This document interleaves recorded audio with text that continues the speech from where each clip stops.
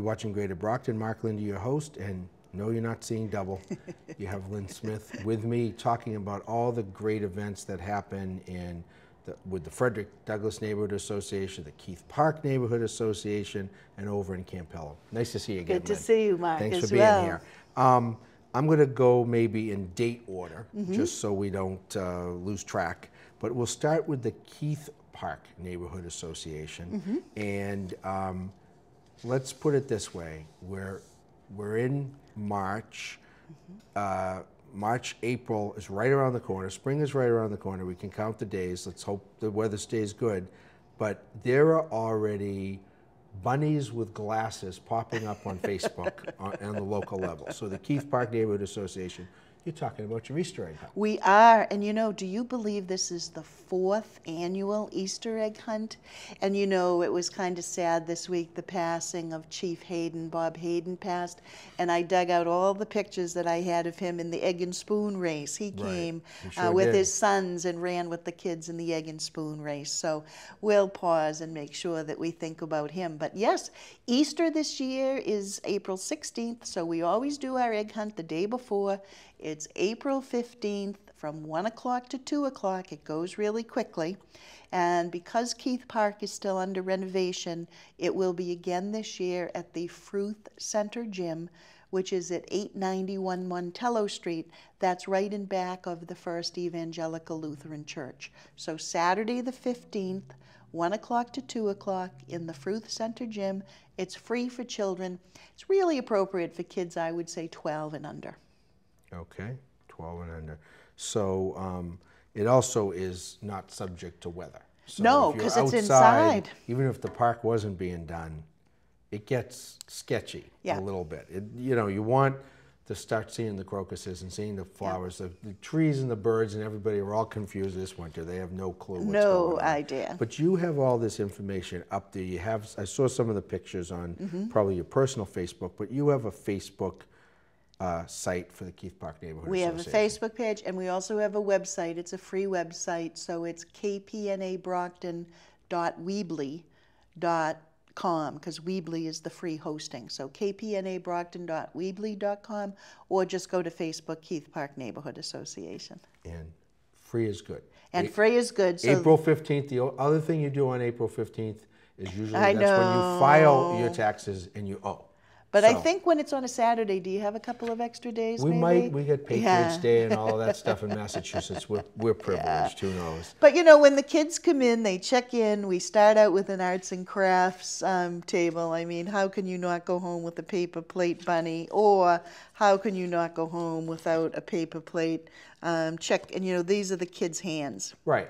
that they um, that they trace out.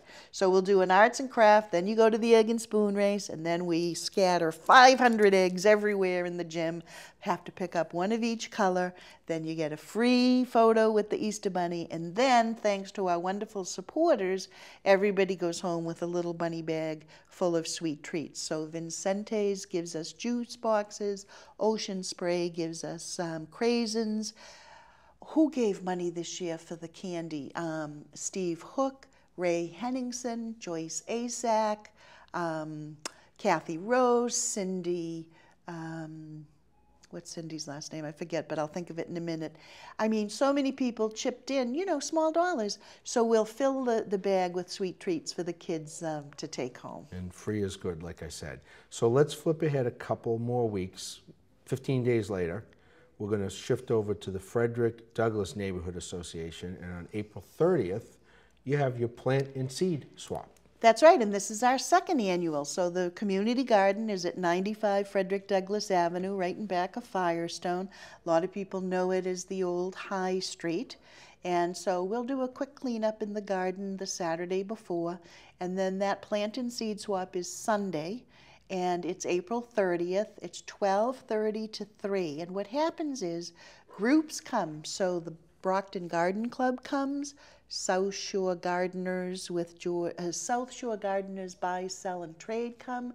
South of Boston Gardeners with George Stanfield comes, and they all bring seeds from their gardens, bare root plants, little seedlings. Oh, the farm at Stonehill comes with seedlings, and it's like a baseball swap. Everybody sort of swaps plants with each other Hmm. and tries different things in their garden. We have a local beekeeper who comes so people can purchase um, honey from a local bee farm. And Good Samaritan Hospital comes, Good Samaritan Medical Center. Last year they did skin safety, and this year they're going to talk about the gift of organ donation and how important it is.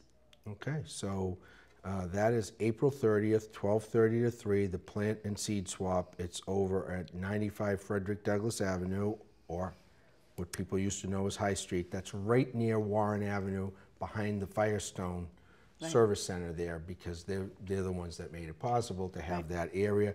What used to be known way back in the day as Patty's Lane. Yeah, that's okay, right. Which is adjacent to the uh, Messiah Baptist, Church. Baptist Church, yep. And So- there's plenty of free parking on a Sunday because the city parking lots are empty.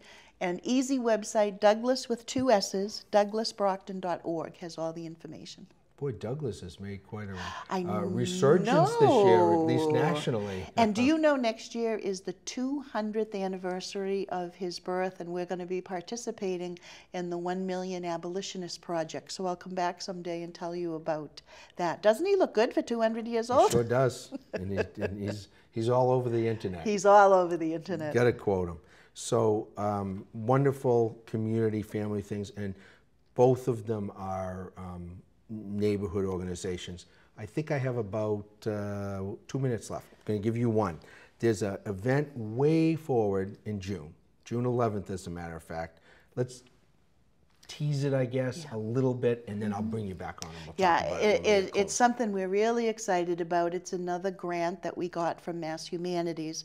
So it's a collaboration of the Brockton Historical Society and the Keith Park Neighborhood Association. And we're calling it a Campello pop up village. We're going to recreate Campello of 1917. Think Plymouth Plantation, think Sturbridge Village. But the villagers will be folks who lived in Campello in 1917, new immigrants, new business owners. What was it like to be a resident of Campello then, talking to the folks of today? So, right now, we just want you to save the date of June 11th. It's a Sunday. June 11th from 12 to 6. It's going to be at Nelson Playground next to South Middle School. But what I want to do is if anyone would like to come and volunteer and learn about Campello and be a villager from 1917, we're looking for village volunteers.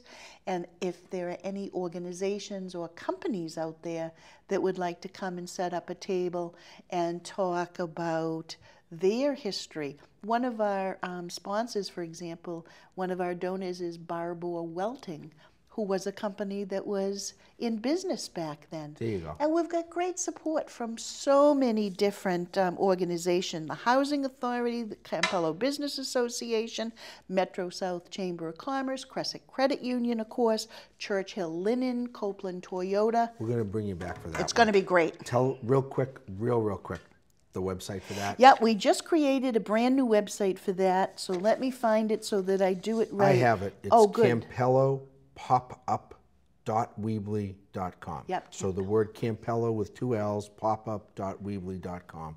Um, June 11th, Sunday, 12 to 6. We'll have more information on you. Thanks, Lynn. Thanks, Always a pleasure. Okay. Appreciate it. You're watching Greater Brockton. Mark Linde, your host. Stay tuned for more events, places, people, and faces right here in the City of Champions.